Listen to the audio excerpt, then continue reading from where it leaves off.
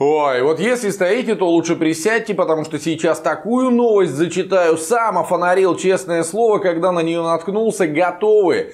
Иллюзиониста Маяк Акопян наложил заклинание на новый десятый пакет антироссийских санкций. Чего? Того. Похоже, ребята из сумасшедшего дома, простите, из телевизора придумали, как с санкциями бороться. Нет, ну а чего?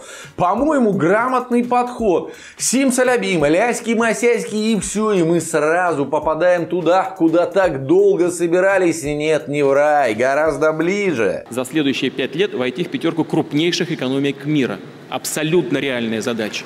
Да-да.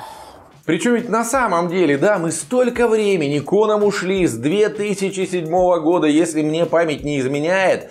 Владимир Владимирович обещал, что Россия войдет в десятку крупнейших экономик мира, потом, видимо, немного переоценил свои силы или, как сегодня модно говорить, перегруппировался. Ну, в десятку это ж не про скреп-державу, верно? Мелко как-то Широты размаха не хватает, а посему великий кормчий решил сразу на пятерку замахнуться.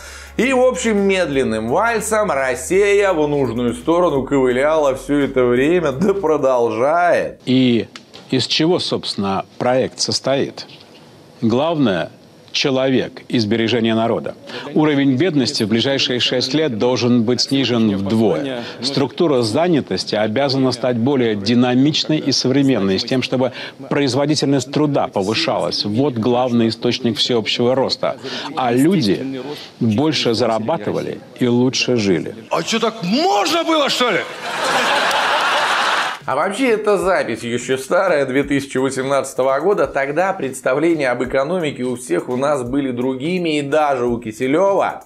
Оглядываясь же назад из сегодняшнего дня, мы должны понимать, точнее они должны понимать, что допустили большую ошибку, а Копяна нужно было главой Минэкономразвития назначать давно бы уже как у Христа за пазухой жили, у чувака и программа по оздоровлению экономики имеется, и положительный опыт ну вот, чтобы не быть голословным, официальный сайт НТВ. Публикация от 26 февраля. Иллюзионист вспомнил, как в 2015 при помощи заклинания Сим Саляби Махалай Махалай доллар сжигая рубль спасай смог помочь Отечеству, волшебство подействовало, американская валюта сразу ослабла. Да что ты, черт побери, такое несешь? Слушайте, я действительно не могу нести всю эту ересь на серьезных щах, это какая-то конкретная крин кринжатина, потому что бред сумасшедшего, ладно, это реальная журналистика. С новостями из дурдома, как обычно, ну нет у меня других в текущей парадигме. Поехали!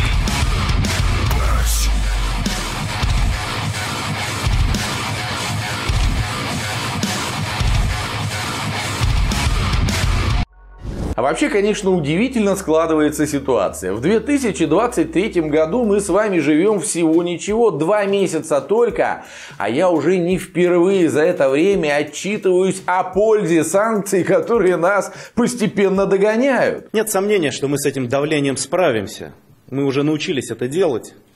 И обратим в конечном счете все эти действия на пользу нашей собственной экономики, нашему собственному экономическому развитию. Но не забудем тех, кто продолжает эту антироссийскую политику. Распространите среди жильцов вашего ЖЭКа. Ну да, мы отвлеклись. По итогам января, а это следует из данных Минфина, дефицит федерального бюджета составил почти 2 триллиона рублей. Чиновники, правда, тогда пытались выкрутиться, объясняли образовавшуюся дыру, ну, мол, год только начался, все еще идет раскачка, вот только и через месяц финансовое положение страны не улучшилось. Пожалуйста, 20 февраля, все тот же Минфин продолжает радовать, ребята. Расходы-то у нас растут, почти 5 триллионов уже ухнули, а вот с доходами как-то не очень. Около триллиона пока собрали и это все, то есть минус 4 уже. Для тех, кто не понимает, много это или мало в очередной раз, давайте на пальцах. Короче, общий бюджет весь годовой должен был составить 30 триллионов рублей, ну там плюс-минус от этой цифры. Отталкивались и экономисты, и правительство, когда строили планы на текущие 23 на какие шиши жить, на что есть пить, чем пособия, пенсии, зарплаты выплачивать. Вот только уже сейчас у нас недобор 13 с лишним процентов. А сегодня 1 марта, напомню, то есть мы еще только-только стол накрыли, только-только собрались обедать. А уже понятно, еды на всех не хватит. Сегодня натовские леопарды попали на Украину. И нам есть что ответить по этому поводу. Поздравляем с Масленицей и по традиции предлагаем сжечь одно очень страшное чучело. Старина Джо, любая ваша кошка, типа э, леопарда, для нас э, все равно, что домашняя мурка. Фу. Я недаром вот этих недалеких бабушек показал, которые в силу своей безграмотности и невежества не осознают всей прелести ситуации и ее последствий. Ну слушайте, а пропагандисты-то? Они ведь должны понимать, что перспективы отнюдь не радужные вырисовываются. Тогда какого хрена они эту шизоидную бредятину в эфир тащат? Клоуна Копян, которого достали из пыльного сундука, сделает пару пассов руками и с помощью лясик-масясик спасет российскую экономику. Совсем с ума сошли, что ли? Или пропагандисты не одупляются, что они же, что им же первым прилетит, ну, вторым хорошо. Первыми как раз вот эти вот шизоидные бабушки станут. Слава Богу, что мы живем в России, а не в Америке. Слава Богу. Да я пойду в люк набухаюсь. Я не оговорился сейчас. Самыми первыми при хреновом раскладе под раздачу попадут именно пенсионеры. Ну, естественно. А где деньги-то брать? Которые так нужны в том числе на спецоперацию, в том числе на бесконечную пропаганду. Деньги ведь на деревьях и не растут. Да, правильно, в пенсионном фонде или, как он там сейчас называется, социальный. Вот в нем а следующие на очереди бюджетники, в том числе пропагандисты, пока, наверное, региональные. Я ведь рассказывал вам уже, у нас сегодня 33 миллиона бюджетников, половина от общего числа работающих граждан. И это не только те, о ком вы сейчас подумали, врачи, учителя, силовики, чиновники, нет.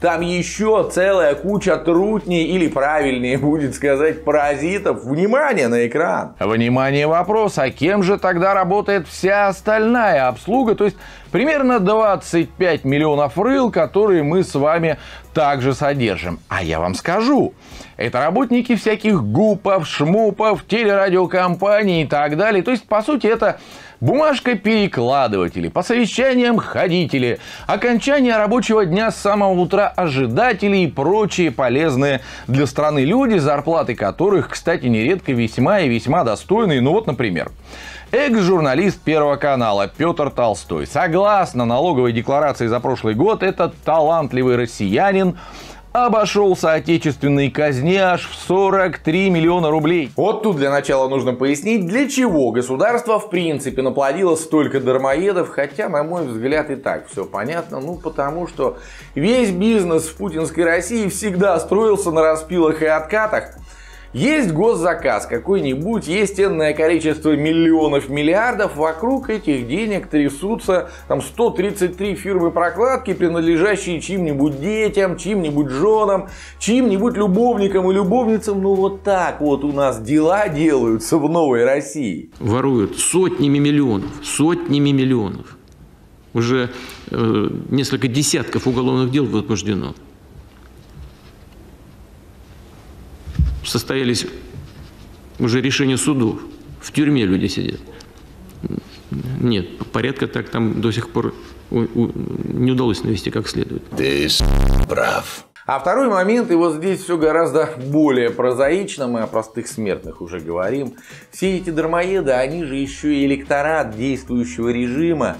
Их, грубо говоря, подкармливали долгие годы ребятишки за это на выборах в знак благодарности голосовали как положено. Недаром же вот это вот ватное утверждение в какой-то момент появилось, при Путине стало лучше. Ну, конечно, конкретно им стало лучше.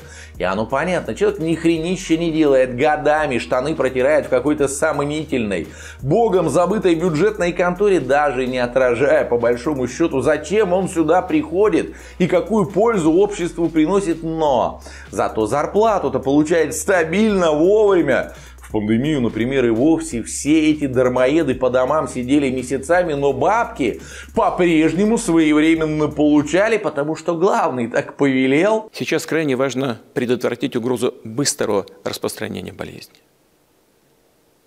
Поэтому объявляю следующую неделю нерабочей с сохранением заработной платы. В этой связи с учетом сложившейся обстановки Безусловно, поддерживаю предложение, э, ваше предложение, уважаемые коллеги, об объявлении по всей стране нерабочих дней с сохранением за работниками заработной платы в период с 30 октября по 7 ноября включительно. А нам и нормально. Мы же русские люди. Классно. Сидишь ты полгода дома, а зарплата капает. Чё так не жить-то? И разве можно такого доброго царя не любить после? Вот только баста карапузики кончились, а танцы не нужны во Владимиру Путину больше как голосующий электорат. Перед кем ему сейчас и видимость демократических процедур-то изображать? Все.